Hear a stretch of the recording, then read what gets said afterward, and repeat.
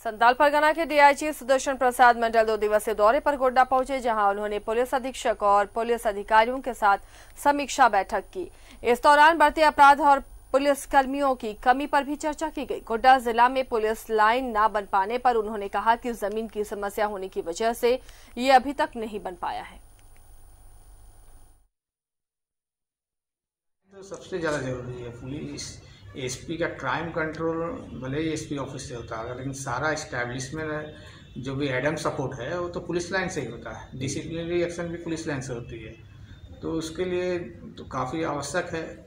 कई कारण रहे हैं जो मुझे पता नहीं है। हो सकता किन कारणों की वजह से नहीं हुआ है। लेकिन पुलिस लाइन के लिए जो भी आवश्यक कार्रवाई होगा, हम लोग के स्तर से पुलिस मुख्यालय संज्ञान में लाएँगे और आगे की कार्रवाई की जाएगी।